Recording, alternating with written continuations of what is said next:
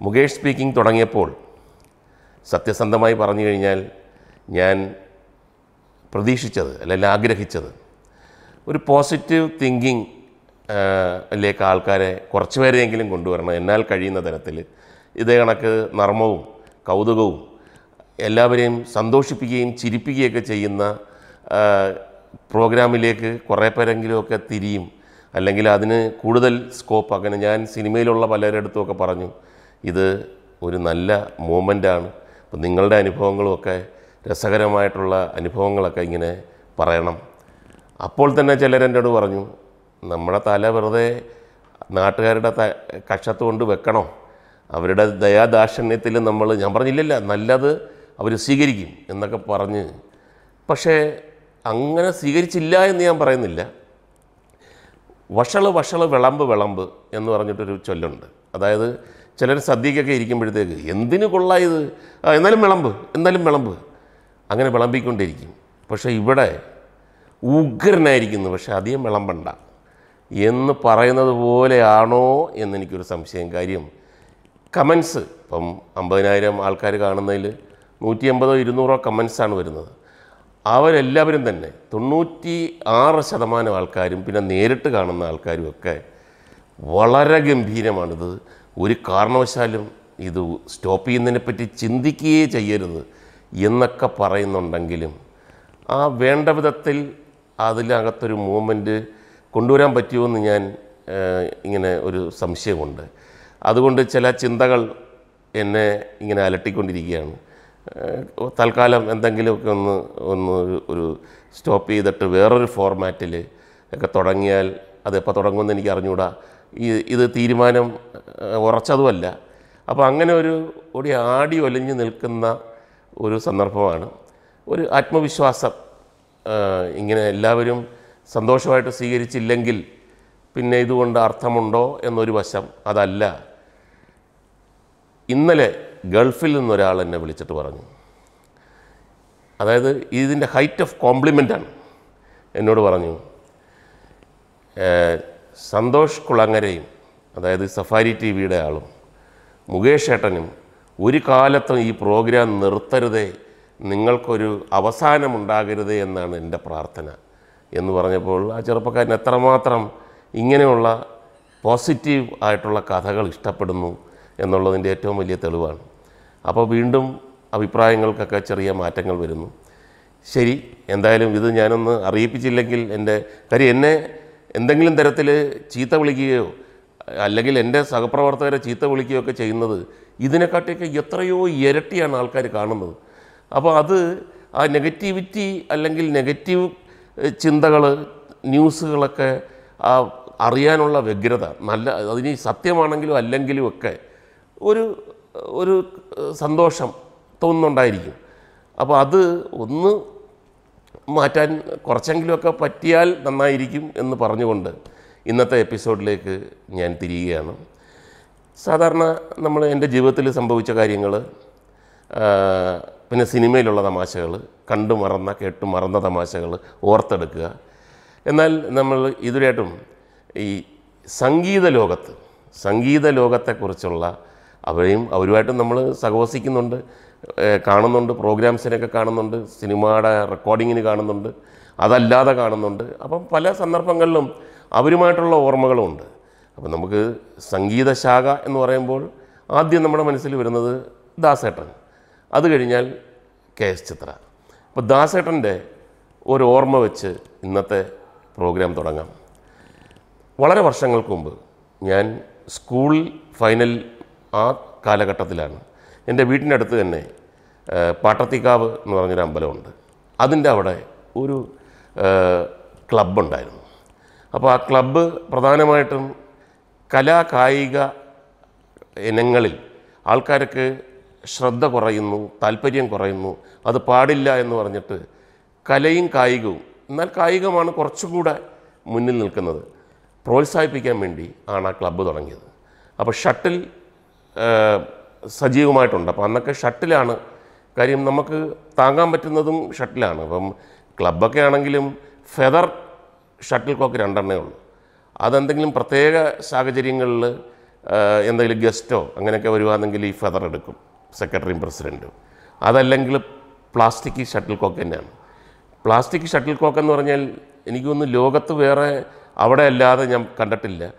ഈ ഷ കോർക്ക് ഇതൊക്കെ പൊളിഞ്ഞിട്ട് അത് സൂചിയും നൂലും വെച്ച് തയ്ച്ച് അതിനകത്ത് കോർക്ക് കയറ്റി കോർക്കൊക്കെ തെറിച്ചു പോകും. അപ്പം അത് അങ്ങനെ പഞ്ചറായിട്ടുള്ള ഷട്ടിൽ വെച്ചിട്ട് കളിക്കുന്നത് നമ്മൾ കണ്ടിട്ടുണ്ട്. ഞാൻ കളിച്ചിട്ടുമുണ്ട് ഞാൻ അവിടുത്തെ മെമ്പറാണ് പക്ഷേ അവിടെ പ്രത്യേകമായിട്ട് ഒരു തീരുമാനം ഉണ്ടാവുകയാണ്. ഇങ്ങനെ സ്ഥിരമായിട്ട് ഇങ്ങനെ കളിച്ചുകൊണ്ടിരുന്നാൽ പോരാ ഒരു ടൂർണമെന്റ് നടത്തണം. അപ്പോൾ എല്ലാവർക്കും ഭയങ്കര താല്പര്യമായി. ടൂർണമെന്റ് എന്ന് പറഞ്ഞാൽ അന്ന് സമ്മാനം കിട്ടുന്ന ആൾക്കൊരു മെഡൽ അല്ലെങ്കിൽ ചെറിയൊരു കപ്പ്. അപ്പോൾ അതൊന്നും പോരാ പൈസ കൊടുക്കണം. അപ്പോൾ ഇപ്പോൾ തീരുമാനമായി. ചാമ്പ്യന് നൂറ് രൂപ. നൂറ് രൂപ വലിയ എമൗണ്ടാണെന്ന് സെക്കൻഡ് പ്രൈസ് റണ്ണറപ്പിന് അൻപത് രൂപ. മത്സരത്തിൽ പങ്കെടുക്കുന്നതിന് ഏഴ് രൂപ. ഏഴ് രൂപ തന്നെ താങ്ങാൻ പറ്റത്തില്ല. അപ്പം നമ്മളെല്ലാവരും പറഞ്ഞു എല്ലാവരുടെയും മനസ്സിൽ നൂറ് രൂപയാണ്. അതെന്തായാലും എനിക്ക് തന്നെ കിട്ടുമായിരിക്കും. അപ്പോൾ ഏഴ് രൂപ ഒപ്പിക്കാനുള്ള ഭയങ്കരമായ നെട്ടോട്ടമായി. ഏഴ് രൂപ അങ്ങനെ ഇങ്ങനെയൊന്നും കാര്യം പോക്കറ്റ് മണി ഇല്ലാത്തതുകൊണ്ട് പോക്കറ്റെല്ലാം കാലിയാണ് എല്ലാവരുടെയും. പക്ഷേ പങ്കെടുത്തേ പറ്റൂ. കാര്യം നൂറും അമ്പതും അവിടെ അങ്ങനെ കിടക്കുകയാണ്. അപ്പോൾ അതിന്റെ ഈ ക്ലബിന്റെ ജോയിന്റ് സെക്രട്ടറി ജോയിന്റ് സെക്രട്ടറിയും ജോയിന്റ് സെക്രട്ടറിയൊക്കെ പവർഫുള്ളാണ് ജാലപ്പ. ഞാൻ ജാലപ്പ എന്ന് പറഞ്ഞ നേരത്തെ ഒരു കഥാപാത്രത്തെ പറ്റി പറഞ്ഞിട്ടുണ്ട്. അത് ശരിക്കുമുള്ള ഹൈദരാബാദിലുള്ള ആളാണ്. പക്ഷേ ഇത് ജാലപ്പ മലയാളിയാണ്. തിരക്കി ചെന്ന് കഴിഞ്ഞാൽ ജാലപ്പയുടെ ഫാദർ പണ്ട് കുണ്ടറ അലിൻഡിൽ ജോലി ചെയ്തിരുന്ന ഒരു കർണാടകക്കാരനാണ്. അയാൾ ഇവിടെ വന്ന് ജാലപ്പയുടെ അമ്മയെ കണ്ടു ഇഷ്ടപ്പെട്ടു കല്യാണം കഴിച്ചു. അങ്ങനെ ഉണ്ടായ മകനാണ് ജാലപ്പ. അപ്പോൾ ജാലപ്പ എന്നൊക്കെ പേരൊക്കെ ഇട്ടിട്ട് അയാളങ്ങ് കർണാടകത്തിൽ പോവുകയും ചെയ്തു. അപ്പോൾ ജാലപ്പ മലയാളിയായിട്ട് തന്നെയാണ്. പേര് മാത്രം അപ്പോൾ ആരെങ്കിലും ചോദിച്ചാൽ എന്താ പേര്? ജാലപ്പ. ജാലപ്പയാ? ഇതെന്തൊരു പേര്? അങ്ങനെ ഒരു പേരുണ്ട് എന്നൊക്കെ പറഞ്ഞിട്ട് ജാലപ്പയ്ക്ക് അത്ര ഇഷ്ടമല്ല അങ്ങനെ പേരെടുത്ത് ചോദിക്കുന്നത് പക്ഷേ ജാലപ്പ വളരെ സജീവമായിട്ടുണ്ട്. തെറ്റില്ലാതെ കളിക്കുകയും ചെയ്യും. അപ്പോൾ ജാലപ്പ ആദ്യത്തെ മീറ്റിങ്ങിൽ ജാലപ്പ കുറച്ചൊരു ഷ്രൂട്ട്നെസ് ഉള്ള ആളാണ്. പറഞ്ഞു നമ്മൾ പിന്നെ അംഗങ്ങൾ മാത്രമല്ലേ ഉള്ളൂ വേറെ ആരും പുറത്തൊന്നുമില്ലല്ലോ? ഇല്ല. എനിക്കൊരു കാര്യം പറയാനുണ്ട്. നമ്മൾ എന്തായാലും ടൂർണമെന്റ് നൂറ് രൂപ എന്ന് പറഞ്ഞ് കളിച്ച കാര്യമല്ല. അമ്പത് രൂപയും കളിച്ച കാര്യമല്ല. ഏഴ് രൂപയും കളിച്ച കളിച്ച കാര്യമല്ല. എന്താ പറയാൻ വരുന്ന ജാലപ്പ? പറയൂ. അപ്പോൾ ജാലപ്പ പറഞ്ഞു അത് നമ്മൾ കൊണ്ടുവരുന്ന റഫറി നമ്മൾ എന്തായാലും പുറത്തുനിന്ന് റെഫറിയെ കൊണ്ടുവരണമല്ലോ. റഫറി എടുത്ത് പറയണം ക്ലബ്ബ് മെമ്പർമാരെ വേറൊരു പ്രത്യേക തരത്തിൽ പരിഗണിക്കണം. ചില ഔട്ടൊക്കെ ഇന്നെന്ന് പറയാം ചില സൈഡിലൊക്കെ വരുമ്പോഴത്തേക്ക് നെറ്റി തട്ടിയാൽ തട്ടിയില്ലെന്ന് പറയാം. അങ്ങനെ ഒരു ഹെൽപ്പിംഗ് ഹാൻഡും കൂടെ വേണം നൂറ് രൂപ പുറത്ത് പോകരുത് അപ്പോൾ ഒരുപാട് പേര് ജാലപ്പ എതിർത്തു. ജാലപ്പ അത് പറ്റത്തില്ല. അത് ചീത്തപ്പേരാവും നമ്മൾ ആദ്യമായിട്ട് തുടങ്ങുകയാണ്. ഇത് ഇങ്ങനെ ഇങ്ങനൊരു ഒരു മാൽ പ്രാക്ടീസ് അല്ലെങ്കിൽ ഒരു മോശപ്പെട്ട സംഭവം ഉണ്ടെന്ന് പറഞ്ഞു കഴിഞ്ഞാൽ പലരും മടിക്കും. ഇതെല്ലാവരും വരണം അങ്ങനെ മുളയിലേ അത് നുള്ളി. അപ്പം ജാലപ്പ പേര് കൊടുത്തു. ജാലപ്പയുടെ കയ്യിൽ നാല് രൂപയേ ഉള്ളൂ മൂന്ന് രൂപ. ഈ ലാസ്റ്റ് ഡേറ്റിന് മുമ്പ് എങ്ങനെ ഒപ്പിക്കുമെന്ന് ജാലപ്പയ്ക്ക് ഒരു പിടിയുമില്ല. പക്ഷേ ആ നൂറും അമ്പതും മനസ്സിൽ കിടന്ന് ഇങ്ങനെ തിളയ്ക്കുന്നതുകൊണ്ട് ഒപ്പിക്കാം എന്ന് പറഞ്ഞു. അപ്പോൾ നമ്മൾ രാവിലെ മുതൽ കാണുകയാണ്. ചിലപ്പോൾ അവർ സൈക്കിളിൽ അങ്ങോട്ട് പോകുന്നു ഇങ്ങോട്ട് പോകുന്നു. അവസാനം തിരിച്ചു വരുമ്പോഴത്തേക്ക് ചില്ലറ പൈസ മാത്രമേ ജാലപ്പയ്ക്ക് സ്വരൂപിക്കാൻ കഴിയുന്നുള്ളൂ. അപ്പോൾ ജാലപ്പയുടെ ചേട്ടൻ ഒരു ജോലിക്കാരനാണ് ജോലിയുള്ള ആളാണ്. ഈ അലിൻഡിൽ തന്നെ ജോലിയാണ് അച്ഛന്റെ ആ കെയർ ഓഫിൽ കിട്ടിയതാണ് അപ്പോൾ ജാലപ്പയുടെ ചേട്ടന്റെ അടുത്ത് ഞങ്ങൾ പറഞ്ഞു ഞങ്ങൾക്കും പ്രയാസമാണെങ്കിലും ജാലപ്പയുടെ ഒരു ഭയങ്കരമായ സ്പിരിറ്റ് അവൻ ജോയിന്റ് സെക്രട്ടറിയും കൂടാണ്. അവൻ ആ മത്സരത്തിൽ പങ്കെടുത്തില്ലെങ്കിൽ അപ്പം മോശമാണ്. ജാലപ്പയെ ഒന്ന് സഹായിച്ചൂടെ എന്ന് പറഞ്ഞ് ഞങ്ങളെ എല്ലാം ഞെട്ടിച്ചുകൊണ്ട് ജാലപ്പട ചേട്ടൻ പറഞ്ഞു നിങ്ങൾക്ക് അറിഞ്ഞൂടവനെ അവന്റെ കയ്യിൽ കാശ് കാശുണ്ട് പൂഴ്ത്തി വെച്ചിരിക്കുകയല്ലേ? അതോടെ നമ്മുടെ സഹതാപമെല്ലാം മാറി. കാരണം ഒരു വലിയ കുടുക്കയിൽ ഇയാൾ എത്രയോ കാലമായിട്ട് പൈസ ഇട്ടിട്ടിട്ടിട്ട് അതിനകത്ത് നല്ല കാശുണ്ട്. അത് തൊടാതെ ഏഴ് രൂപ ഒപ്പിക്കാനുള്ള തത്രപ്പാടില്ല. അപ്പം ഞങ്ങൾ ജാലപ്പടുത്ത് പറഞ്ഞു ജാലപ്പ അത് കള. നിങ്ങൾ ഇങ്ങനെ നമ്മളെ പറ്റിക്കരുത്. ആ ആ കുടുക്ക പൊട്ടിയില്ലേ? അന്ന് ജാലപ്പ ആലോചിച്ചു പൊട്ടിക്കണം പൊട്ടിക്കണം. ഒന്നുകൂടെ ശ്രമിച്ച് ലാസ്റ്റ് മൊമെന്റ് അഞ്ച് മണിക്കാണ് വൈകുന്നേരം അവസാന നിമിഷം. അതിനുശേഷം പിന്നെ എടുക്കത്തില്ല. നാലമ്പത്തി ഏഴിന് കുടുക്ക പൊട്ടിച്ചു. ബാക്കി മൂന്ന് രൂപ അതിനകത്ത് കുറേ പൈസയൊക്കെ ഉണ്ട്. ഉടനെ തന്നെ കവർ ചെയ്ത് വെച്ചിട്ട് ജാലപ്പഴ മുഖത്ത് നമുക്ക് വായിച്ചെടുക്കാം. ഈ കൊടുക്കയിൽ ഞാൻ നൂറിടും അമ്പതെങ്കിലും ഇടും. ആ ഒരു പ്രതീക്ഷയും ആ ഒരു സ്വപ്നവുമാണ് ബാലപ്പയെ മുന്നോട്ട് നയിച്ചത്. ബാലപ്പ രജിസ്റ്റർ ചെയ്യുന്നു. അങ്ങനെ വലിയ വലിയ ആൾക്കാരൊക്കെ ആ പ്രദേശത്തുള്ള ആൾക്കാരൊക്കെ ഇടപെട്ട് തുടങ്ങി. ഇത് കൊള്ളാമല്ലോ നിങ്ങളുടെ ടൂർണമെന്റ് പല ആൾക്കാരും വെളിയിൽ നിന്ന് വരുന്നു. പിന്നെ ഇത് ജോയിൻ ചെയ്യുന്നു. ഇപ്പോൾ തന്നെ മൂന്നോ നാലോ ദിവസം കൊണ്ട് തീരുമെന്ന് വിചാരിച്ചിരുന്നത് പത്ത് ദിവസം വരെയായി. അത്രയും മാത്രം പിന്നെ പാർട്ടിസിപ്പൻസ് ആയി എന്നൊക്കെ പറഞ്ഞപ്പോഴത്തേക്ക് അവിടെ തന്നെ ഒന്ന് രണ്ട് പ്രമാണിമാർ ഞങ്ങളും കൂടെ ഇതിനകത്ത് ഇടപെടുന്നു എന്ന് പറഞ്ഞിട്ട് അവർ മേൽനോട്ടമൊക്കെ വഹിച്ചോട്ടു പെട്ടെന്ന് അതിലൊരാൾ പറയാം അയാൾ വലിയ കൊല്ലത്തെ വലിയൊരാളായിരുന്നു. അദ്ദേഹം എന്റെ അടുത്ത് പറഞ്ഞു ഞങ്ങളുടെ അടുത്ത് പറഞ്ഞു നമുക്ക് ഇത് യേശുദാസിനെ കൊണ്ട് ഉദ്ഘാടനം ചെയ്യിപ്പിക്കാം. നമ്മളെല്ലാവരും "ഉം, യേശുദാസ്. ആ കാലഘട്ടത്തിൽ യേശുദാസിന്റെ ഫോട്ടോയ്ക്ക് വേണ്ടി അടിയാണ്. ഒരു ഫോട്ടോ കിട്ടിക്കഴിഞ്ഞാൽ അതൊരു അമൂല്യ നിധിയായിട്ട് സൂക്ഷിക്കുന്ന കാലഘട്ടം. അപ്പോഴാണ് യേശുദാസ് പാട്ടത്തേക്കാവിൽ ഷട്ടിൽ കോക്ക് ഉദ്ഘാടനം. ചുമ്മാ ഇരി സാറേ. ഇല്ലില്ലല്ല. ഞാൻ എനിക്കതിനുള്ള ഹോൾഡുണ്ട്. ഞാൻ മാക്സിമം ശ്രമിക്കാം എന്ന് പറഞ്ഞു. ഇതങ്ങോട്ട് ഭയങ്കര കാട്ടുതീ പോലെ പരന്നു. ഒരുപാട് പേര് പറഞ്ഞു. യേശുദാസിനെ കൊടു കണ്ടു. സമ്മതിച്ചു. യേശുദാസ് ഒരു പിരിവും കൊടുക്കാമെന്ന് പറഞ്ഞു. എന്തെല്ലാം കഥകളാണ് അപ്പം നമുക്കറിയാം. ഈ യേശുദാസിന്റെ കാര്യം ഇദ്ദേഹം ഒരു ആഗ്രഹം വെച്ച് പറഞ്ഞതാണ്. അപ്പോൾ യേശുദാസിന്റെ ഏറ്റവും അടുത്ത ഒരാൾ വേണുവണ്ണൻ എന്ന് പറഞ്ഞ് ഞങ്ങളൊക്കെ വിളിക്കുന്ന ഒരാൾ ആ ഞങ്ങളുടെ വീടിന്റെ അടുത്ത് തന്നെ ആശ്രാമം എന്ന് പറഞ്ഞ സ്ഥലത്ത് താമസമുണ്ട്. അദ്ദേഹവും വെള്ളയും വെള്ളയൊക്കെയാണ്. യേശുദാസിന്റെ അതേ കണക്ക് ഡ്രസ്സൊക്കെ ചെയ്ത് ഭയങ്കര ഫ്രണ്ട്സാണ്. ഞങ്ങൾ വേണുവണ്ണന്റെ അടുത്ത് പോയി ചോദിച്ചു അണ്ണാ ഇങ്ങനെ ഇന്ന ദിവസം യേശുദാസ് ഇങ്ങനെ ഒരു ഉദ്ഘാടനത്തിന് വരുമെന്ന് പറഞ്ഞ് നടക്കുമല്ലോ സത്യമാണ്. അപ്പം വേണുവണ്ണം പറഞ്ഞു നാളെ പറയാമെന്ന് പറഞ്ഞു. പിറ്റേ ദിവസം വീണ്ടും പറഞ്ഞു ഡേ എറ- എറണാകുളത്ത് നിന്ന് തിരുവനന്തപുരത്തോട്ട് പോകുന്നുണ്ട്. ഇതുവഴി വീട്ടിൽ വരുന്നുണ്ട്. അപ്പം ഞാൻ പറഞ്ഞു അപ്പം പോകുന്ന വഴിക്ക് ആരൊക്കെയോ ഉൾപ്പുള്ളിയെടുത്ത് ചട്ടം കെട്ടിയിരിക്കുകയാണ്. അപ്പോൾ അവിടെ വന്ന് ഉദ്ഘാടനം ചെയ്യുന്നു. ഓഹ് പിന്നെ നമുക്കങ്ങോട്ട് ഭയങ്കര ഉഷാറായി. അപ്പോൾ അടുത്ത മീറ്റിംഗ് കൂടി. അപ്പോൾ യേശുദാസ് കളിക്കുമ്പോൾ എന്തായാലും യേശുദാസ് ഇങ്ങനെ ഷട്ടിലെടുത്തിട്ട് ലവ് എന്ന് പറഞ്ഞിട്ട് ആ നല്ല ഉദ്ഘാടനം ചെയ്യുന്നത്? ആര് അപ്പുറത്ത് നിൽക്കും? യേശുദാസിനോട് കളിക്കാൻ എല്ലാവർക്കും ആഗ്രഹമുണ്ട്. അപ്പോൾ നമ്മളൊക്കെ പ്രധാന ഭാരവാഹികളല്ലാത്തതുകൊണ്ട് ഇങ്ങനെ മാറി നിൽക്കുകയാണ്. അപ്പം ജാലപ്പ പറഞ്ഞു അത് ഞാനുണ്ടല്ലോ. അപ്പം അല്ല ചിലർ അല്ല ജാലപ്പ കളിക്കുന്ന ആളല്ലേ? അല്ല ഞാനുണ്ടല്ലോ. അപ്പോൾ അതിന്റെ സംഭവം എന്ന് പറഞ്ഞാൽ ഈ ഉദ്ഘാടനം കഴിഞ്ഞാൽ ഫസ്റ്റ് കളി ജാലപ്പയുടെയാണ് ജാലപ്പ ഉദ്ഘാടനം കഴിഞ്ഞ് എതിരാളിയെ ജാലപ്പയ്ക്ക് പിന്നെ തിരഞ്ഞെടുക്കാനുള്ള ഒരു സ്വാതന്ത്ര്യം കൊടുത്തു. നേരത്തെ ജാലപ്പ കൊണ്ടുവന്നത് ശരിയാവാത്തത് കൊണ്ട് ആ പരിഷ്കാരം വേണ്ടാന്ന് പറഞ്ഞതുകൊണ്ട് ഇത് ജാലപ്പ ഉറച്ചു നിൽക്കുകയാണ് ഞാൻ തിരഞ്ഞെടുക്കും. ആരാണ് എന്റെ ഫസ്റ്റ്? ഫസ്റ്റ് റൗണ്ട് എനിക്ക് ഈസി ആയിട്ട് ജയിക്കണം. അപ്പം ജാലപ്പ അതിനുള്ള സ്വാതന്ത്ര്യം ഉള്ളതുകൊണ്ട് എല്ലാവരും പറഞ്ഞു അല്ല ഉദ്ഘാടനം കഴിഞ്ഞാൽ ഉടനെ കളിക്കുന്ന ഒരാൾ വേണോ? ജാല പറഞ്ഞു പിന്നെ അതെന്തോ രണ്ടു അടി അടിക്കുന്നതിനെന്താ? അത് ഞാൻ തന്നെ. എന്ന് പറഞ്ഞപ്പോൾ ആർക്കും ജോയിന്റ് സെക്രട്ടറി ആയതുകൊണ്ട് ഇപ്പോൾ സെക്രട്ടറി കളിക്കുന്നില്ല. ആർക്കൊന്നും പറയാനും വയ്യ. അങ്ങനെ ജാലപ്പ ഇങ്ങനെ വന്നപ്പോൾ ജാലപ്പ എങ്ങനെങ്കിലും ഇതൊന്ന് ബീറ്റ് ആക്കണമല്ലോ. പെട്ടെന്നൊരു തീരുമാനം വന്നു. ജാലപ്പ ജാലപ്പ നല്ല കളിക്കാരനൊക്കെയാണ് പക്ഷേ ഇത് യേശുദാസാണ് വരുന്നത്. അപ്പോൾ കൊല്ലത്തുള്ള ഏറ്റവും നല്ല കളിക്കാരനെ കൊണ്ടുവരണം. കൊല്ലം ഡിസ്ട്രിക്റ്റ് ചാമ്പ്യനെ കൊണ്ടുവരണം. അതെന്തിന്? ധന്യമാക്കട്ടെ ഗ്രൗണ്ട് ധന്യമാക്കണം യേശുദാസ് ഇങ്ങനെ ലവ് എന്ന് പറഞ്ഞ് കിട്ടുമ്പം പൊക്കിയിട്ട് കൊടുക്കുക വീണ്ടും അപ്പോൾ ഒരു പ്രാവശ്യം ഷട്ടിൽ താഴെ വീരാതെ നിർത്തത്തില്ലല്ലോ. അപ്പോൾ അങ്ങനെ മാക്സിമം സമയം യേശുദാസിനെ ഗ്രൗണ്ടിൽ പിടിച്ച് നിർത്തിയിട്ട് ഗ്രൗണ്ട് ധന്യമാക്കുക. അപ്പോൾ ജാലപ്പേട മുഖത്ത് ധന്യമാക്കുക. അത് എവിടുത്തെ ധന്യമാ ഇങ്ങനെ മുറുമുറുത്ത്. പക്ഷേ അതിനകത്തൊരു പോയിന്റ് ഉണ്ട് അപ്പോൾ എല്ലാവരും പറഞ്ഞു അത് ശരിയാണ് ജാലപ്പയൊക്കെ പെട്ടെന്ന് അങ്ങ് പോയാലോ? അങ്ങനെ എല്ലാവരും കൂടെ ഓടി. ഫാത്തമ്മ കോളേജിൽ പഠിക്കുന്ന പി ജിക്ക് പഠിക്കുന്ന ഒരു പയ്യനാണ് അന്ന് കൊല്ലം ചാമ്പ്യൻ. അവന്റെ വീട്ടിൽ പോയിട്ട് അവന്റെ അടുത്ത് പറഞ്ഞു ഓഫർ കൊടുത്തു. അപ്പോൾ അവൻ ആദ്യം വിചാരിച്ചു ഇത് ഏഴ് രൂപ കൊടുത്ത് ചേരാനാണ് അവൻ പറഞ്ഞു ഏയ് അങ്ങനെയൊന്നും ഞാൻ ചേരത്തില്ല.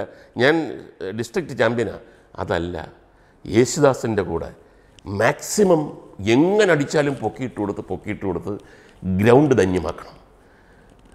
യേശുദാസ ഞാനുമായിട്ട് കളിയാ? ഓ അയ്യോ എന്നെ ഇനി മാറ്റരുത്. ചാമ്പ്യൻ പത്തോന്ന് വീണു യേശുദാസ് എന്നുള്ള പേര് കിട്ടി അപ്പോൾ ചാമ്പ്യൻ പ്രത്യേകമായിട്ട് യേശുദാസിന്റെ അടുത്ത് കളിക്കാൻ വേണ്ടി ചില സ്റ്റൈലും കാര്യങ്ങളൊക്കെ പ്രാക്ടീസൊക്കെ തുടങ്ങി. അങ്ങനെ യേശുദാസ് വരുന്നു. നാളെ യേശുദാസ് വരികയാണ്. ഇതുവരെ ജലപ്പ ആളിനെ തിരഞ്ഞെടുത്തിട്ടില്ല. അങ്ങനെ ഇന്നപ്പോഴത്തേക്ക് ഒരു സൈക്കിളിൽ പുറകെ ഇങ്ങനെ വലിയൊരു ക്യാരിയറൊക്കെ ആയിട്ട് സാധാരണ മീൻകാരാണ് അങ്ങനെ സൈക്കിളിന്റെ ബാക്കിൽ ഒരു വലിയ ക്യാരിയർ വെക്കുന്നത്. ക്യാരിയറൊക്കെ വെച്ചിട്ട് ഒരു കൈലിമുണ്ടും ഒരു ഒരു ഷർട്ട് ഇട്ടിട്ട് ഒരു കൈലേസിങ് ഇവിടെ വെച്ചിട്ടുണ്ട്. വന്നിട്ട് ഇറങ്ങിയിട്ട് ഇവിടെ എവിടെയാണ് പിന്നെ ഇത് ചേരേണ്ട ദിവസം? ഇന്നല്ലേ ലാസ്റ്റ് ഡേറ്റ് വല്ലവരും പറഞ്ഞു അതെ എന്ത്? അതൊന്ന് ചേരണം. ആർക്ക് വേണ്ടി? എനിക്ക് വേണ്ടി. നിങ്ങൾ ചേരുന്ന? ഓ പൈസ ഉണ്ടോ? പിന്നെന്താ? പത്ത് രൂപ എടുത്ത് കൊടുത്തിട്ട് പറഞ്ഞു ബാക്കി മൂന്ന് രൂപ കഴിഞ്ഞിട്ട് നിങ്ങൾ എവിടുത്തുകാരൻ? അത് കുറേ തട്ടാമലയിലുള്ളതാണ്. ആ. എന്ത് ചെയ്യുന്നു? മീൻ കച്ചവടമാണ് മീൻ കച്ചവടമാണ് നമ്മളെല്ലാവരും അത്ഭുതപ്പെട്ട് നിൽക്കുമ്പം ജാലപ്പയുടെ മുഖം തെളിഞ്ഞു. ഇവനെ എനിക്ക് വേണം. ഇവൻ ദൈവം അയച്ചതാണ് എനിക്ക് വേണ്ടി. ഫസ്റ്റ് ഡേ ജയിക്കാൻ വേണ്ടി. ഇവനെ തോൽപ്പിച്ച് ഞാൻ കയറും സെക്കൻഡ് റൗണ്ടിൽ ഞാൻ പറഞ്ഞു വരട്ടെ വരട്ടെ അയാൾ അയാൾ വരട്ടാതെ അയാൾ വരട്ടാതെ. ഓക്കെ ഏഴ് രൂപ കൊടുക്കുന്നു. അയാൾ വിട്ടുടനെ തന്നെ ജാലപ്പ പറയുന്നു എന്റെ പേര് ഫസ്റ്റ് ഞങ്ങൾ രണ്ടുപേരുമാണ്. അപ്പോൾ തന്നെ അയാളെ വിളിച്ചു പറഞ്ഞു ഉദ്ഘാടനം കഴിഞ്ഞാൽ ഫസ്റ്റ് മത്സരം നിങ്ങളുടെ ആണ് കേട്ടോ. ഓക്കെ അയാൾ പോകുന്നു. ജാലപ്പയ്ക്ക് സന്തോഷം. മറ്റേ യേശുദാസിന്റെ മിസ്സായെങ്കിലും ഇത് ഒരു കലക്ക് കലക്കും. അങ്ങനെ ആ പ്രതീക്ഷിച്ചിരുന്ന ദിവസം സംജാതമായി. എല്ലാവരും രാവിലെ മുതൽ വൈകുന്നേരമാണ് ഇതെങ്കിലും ഗ്രൗണ്ട് നോക്കുന്നു. യേശുദാസ് ഒന്ന് കളിക്കാനുള്ളതാണ്. അപ്പോൾ കുറേ ആൾക്കാർ സ്ഥലം പിടിക്കുന്നു. പിന്നെ നേരത്തെ വന്ന് ബുക്ക് ചെയ്യുന്നു. അങ്ങനെ ഒരാലുണ്ട് ആലിന്റെ ചുവട്ടിലൊക്കെ ഇങ്ങനെ കുടുംബാംഗങ്ങൾക്ക് വേണ്ടി സ്ഥലം റിസർവ് ചെയ്യുന്നു. ഒരു കലാപരിപാടി അതായത് ഗാനമേള ഒരു മൂളൽ പോലുമില്ല ഒരു അതും ഇദ്ദേഹത്തിനുമായിട്ട് ഒരു ബന്ധവുമില്ലാത്ത ഒരു ഷട്ടിൽ കോക്ക് ആ അദ്ദേഹത്തെ കാണാനും ആ കളി കാണാൻ വേണ്ടി ആ ഗ്രാമം മുഴുക്ക ഇങ്ങനെ ഉണർന്നു ആ കാത്തിരുന്ന് ആ നിമിഷത്തിന് വേണ്ടി വന്നു. അപ്പോഴും ഭാരവാഹികൾക്കും ഞങ്ങൾക്കും മെമ്പേഴ്സിനും ഒരു ഭയമുണ്ട്. കാരണം വലിയ ആളല്ലേ? വരുന്ന വഴിക്ക് വേണമെന്നെ അടുത്ത് ഡേ താമസിച്ചു കേട്ടോ. അന്നേരം തിരുവനന്തപുരത്തോട്ട് പോട്ടെ. നമുക്ക് മറ്റൊരു സന്ദർഭത്തിൽ എന്ന് പറഞ്ഞാൽ പറഞ്ഞതാ. കേസ് മുഴക്കമൊന്നുമില്ലല്ലോ. നാട്ടുകാർ നമ്മളെ കൈകാര്യം ചെയ്തത് അത് വേറെ കാര്യം. അങ്ങനെ ശ്വാസം അടക്കി പിടിച്ചിങ്ങനെ ഇരിക്കുമ്പം ഒരു കാറ് വന്ന് നിൽക്കുന്നു. വെള്ള അംബാസഡർ കാറാണ്. വേണുണ്ണൻ ആദ്യം ഇറങ്ങുന്നു. അപ്പോൾ തന്നെ നമുക്ക് സമാധാനമായി. വേണുവണ്ണൻ ഇറങ്ങി. പക്ഷേ ബാക്കിലിരിക്കുന്ന ആരാന്ന് അറിഞ്ഞുകൂടാ? ചിലപ്പോൾ വേണുവണ്ണൻ സോറി പറയാനാണോ വന്നതെന്നും അറിഞ്ഞുകൂടാ. തുറന്നു. ഒരു വെള്ളച്ചെരുപ്പ്. ചങ് അത് കഴിഞ്ഞ് മുണ്ട് ജുബ താടി. ഓ സുന്ദരൻ എന്ന് പറഞ്ഞു കഴിഞ്ഞാൽ കണ്ടു കഴിഞ്ഞാൽ ഒരു തേജസ്സാണ്. ഒരു സൂര്യപ്രകാശം ഇങ്ങനെ അടിക്കുന്നു. എല്ലാവരെയും കൈ കാണിച്ച് ഇങ്ങനെ വന്നു. അപ്പോഴത്തേക്ക് ഡിസ്ട്രിക്റ്റ് ചാമ്പ്യൻ അയാളെ അങ്ങ് പൊതിഞ്ഞ് ഞങ്ങളെല്ലാവരും കൂടെ ധന്യമാക്കണം ധന്യമാക്കണം ഒരു കാരണവശാലും താഴെ വീഴാൻ സമ്മതിക്കരുത്. എങ്ങനിട്ടാലും ഡൈവ് ചെയ്താന്ന് എങ്ങനിട്ടാലും പൊക്കിക്കൊണ്ടിറങ്ങും. ഹാഫ് ആൻ അവർ പിടിച്ചു നിർത്തും. ഈ ഗ്രൗണ്ട് ധന്യമാക്കിയിരിക്കും. കൊല്ലത്തിന്റെ പവിത്രമായ ഗ്രൗണ്ടാക്കി മാറ്റും ഞാനിത്. അത് മതി അത് മതി. ബൃന്ദാസേട്ടൻ വന്നിട്ട് പറഞ്ഞു ഒരു ചെറിയ പ്രസംഗം. ഇങ്ങനെ കലയെപ്പോലെ തന്നെ കായിക രംഗവും വളർന്നു വരണം. എല്ലാവരും ആരോഗ്യമാണ് പ്രധാനം എന്നൊക്കെ പറഞ്ഞ്. വളരെ മനോഹരമായ കുറച്ച് അപ്പോൾ എല്ലാവരും കൈയടിച്ച് കുറേ പേരൊക്കെ കരഞ്ഞു. ദൈവമേ ഇത്രയും വലിയ മനുഷ്യൻ വന്നിട്ട് വീണ്ടും നമ്മളെ ഉപദേശിക്കുകയാണ്. എത്ര നല്ല മനുഷ്യൻ എന്നൊക്കെ പറഞ്ഞ് പെണ്ണുങ്ങളെല്ലാം കൂടെ സ്ത്രീകളെല്ലാവരും കൂടി ഇങ്ങനെ ഭയങ്കരമായ ആരാധനയോടെ അമ്പലത്തിലൊക്കെ പള്ളിയിലുമൊക്കെ നിൽക്കുന്നത് കണക്ക് ഇങ്ങനെ കൂപ്പ് കൈയോടെ നിൽക്കുകയാണ്. ദാസേട്ടൻ എടുക്കുന്നു. ഷട്ടിലെടുത്തിട്ട് ആരാ നിൽക്കുന്നത്? അപ്പോൾ പറഞ്ഞ പുള്ളി അപ്പോൾ പുള്ളി അയാൾ ഞാൻ ഡിസ്ട്രിക്ട് ചാമ്പ്യനാണ് ഓ ഡിസ്ട്രിക്ട് ചാമ്പ്യനാണോ എന്താ പേര്? രാഹുൽ. ആ ഓക്കെ രാഹുൽ. അപ്പോൾ ഞാൻ സെർവ് ചെയ്യാം. അപ്പോൾ എല്ലാവരുടെയും അനുവാദത്തോടു കൂടി ഞാനിത് സെർവ് ചെയ്യുന്നു. സെർവ് ചെയ്യുന്നു. ഉടനെ എല്ലാവരും ഇങ്ങനെ നിൽക്കുമ്പോഴത്തേക്ക് രാഹുൽ പൊക്കി അടിക്കുന്നു ഇങ്ങനെ പൊങ്ങുന്നു. അപ്പം രാഹുൽ ഇങ്ങനെ നോക്കി നിൽക്കുകയാണ്. അപ്പം നമ്മളെ ആ ഭയങ്കര സസ്പെൻസ് നിമിഷങ്ങളാണിത്. ദാസേട്ടൻ എന്ത് ചെയ്യും? പൊക്കി അടിക്കുമോ? അതോ പ്ലേസ് ചെയ്യുമോ? അപ്പോൾ ദാസേട്ടൻ ചാടി ഒരൊറ്റ അടി. അതായത് രണ്ടാം ഒരെണ്ണം അടിച്ച് തിരിച്ച് ഒരു മൂമെന്റേ ഉള്ളൂ.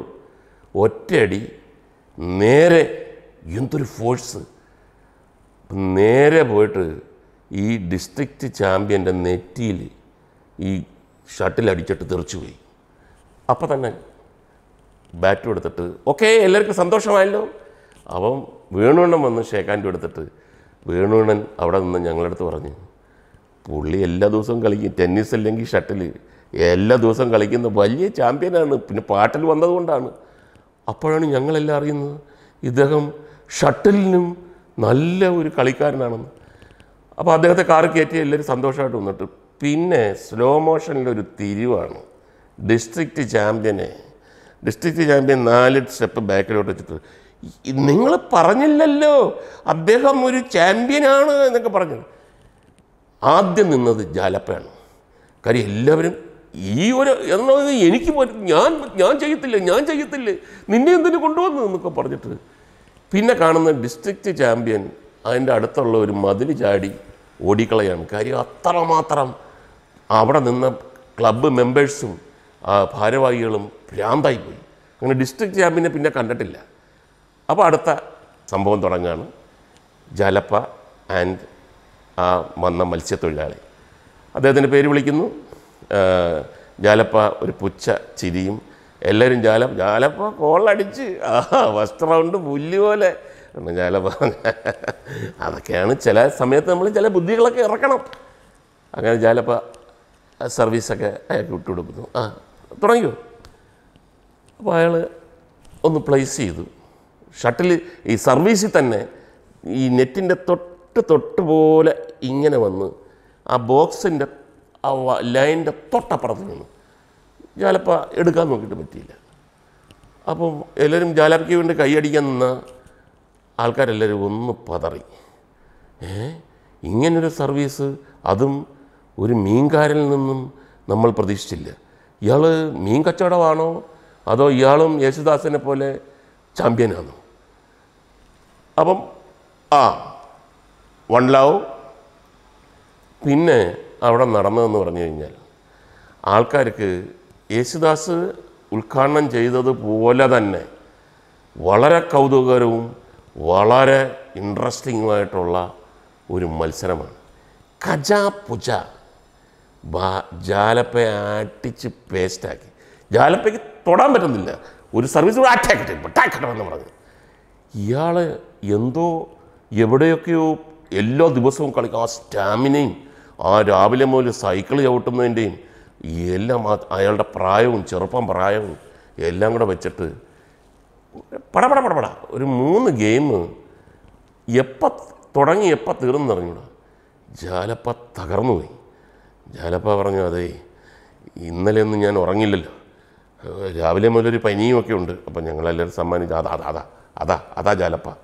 എന്ന് പറഞ്ഞിട്ട് ജാലപ്പയെ ഒന്ന് സമാധാനിപ്പിച്ച് നിർത്തിയപ്പോഴത്തേക്ക് മറ്റേ സെക്കൻഡ് റൗണ്ടിൽ കിടന്നു. അപ്പം തന്നെ ആ ക്യാരിയറുള്ള സൈക്കിളിൽ കയറി കിഴക്കോട്ട് പോയി. എങ്ങോട്ട് പോകുന്നു നമുക്ക് അറിഞ്ഞൂടാ. ജാലപ്പ അവിടെ നിന്ന് എല്ലാവരും ഇങ്ങനെ വളരെ ചിരിയും വരുന്നുണ്ട്. എന്നാൽ ജാലപ്പ എടുത്ത് കാണിക്കാനും വയ്യ. അപ്പോൾ അവിടെ നിന്ന് ഒരു ചെറിയ പയ്യൻ വിളിച്ചു പറഞ്ഞു അങ്ങനെ ജാലപ്പാണ്ണൻ ഇട്ടുകൂട്ടിയ കുടുക്കയിലെ പൈസ പോയേ എന്ന് പറഞ്ഞോടുകൂടി ആ ഗ്രൗണ്ട് മുഴുക്ക എല്ലാവർക്കും എല്ലാം തമ്മി തമ്മി എല്ലാം അറിയാം. കുടുക്ക പൊട്ടിച്ചതും ഇതിന്റെ കാശിന്റെ പ്രയാസവും എല്ലാം അറിയാം. ഒരൊറ്റ ചിരിയാണ്.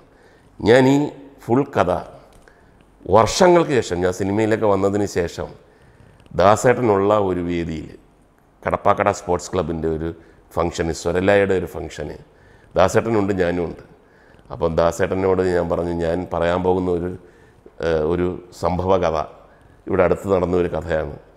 ഞാൻ കോളേ സ്കൂളിൽ പഠിച്ചുകൊണ്ടിരുന്നപ്പം ദാസേട്ടൻ അവിടെ ഈ ഷോ ഷട്ടിൽ കോക്ക് ടൂർണമെന്റ് ഉദ്ഘാടനം ചെയ്യാൻ വന്നപ്പോൾ നിങ്ങളെപ്പോലുള്ള വലിയ വലിയ ആൾക്കാർ എവിടേക്കോ പോകുന്നു ഉദ്ഘാടനം ചെയ്യുന്നു തിരിച്ചു പോകുന്നു.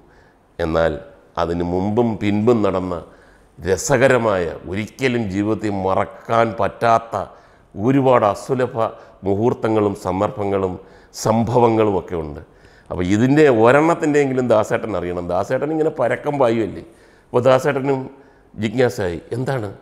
അങ്ങനെ ഞാൻ ഈ ക്ലബിന്റെയും ജാലപ്പയുടെ ആ അന്ത്യനിമിഷങ്ങളും അദ്ദേഹത്തിന്റെ നിസ്സഹായതയും നഷ്ടവും പിന്നെ ഈ ഡിസ്ട്രിക്റ്റ് ചാമ്പ്യന്റെ മതിലിയാട്ടം എല്ലാം പറഞ്ഞിട്ട് ദാസേട്ടൻ പൊട്ടിച്ചിരിച്ചിട്ട് എന്റെ തോളിൽ കൈവച്ചിട്ട് പറഞ്ഞു നമ്മൾ അറിയുന്നില്ല ശരിയാണ്. എന്തൊക്കെ സംഭവങ്ങളായിരിക്കും നമ്മൾ വരുന്നതിനും പോയതിനു ശേഷം നടക്കുന്നത്. എന്തായാലും ഞാനിത് എന്റെ ആത്മകഥയിൽ എഴുതും. എന്ന് പറഞ്ഞപ്പോൾ ഞാൻ പറഞ്ഞു എഴുതിക്കോ പക്ഷെ ഞാനും എഴുതാൻ വെച്ചിരിക്കുകയാണ്. അതിനും അദ്ദേഹം ചിരിച്ചു. ഇന്നത്തെ എപ്പിസോഡ് ദാസേട്ടന്റെ ആ രസകരമായ ആ സംഭവം ഓർമ്മിച്ചുകൊണ്ട് ഞാൻ അവസാനിപ്പിക്കുന്നു. നന്ദി നമസ്കാരം.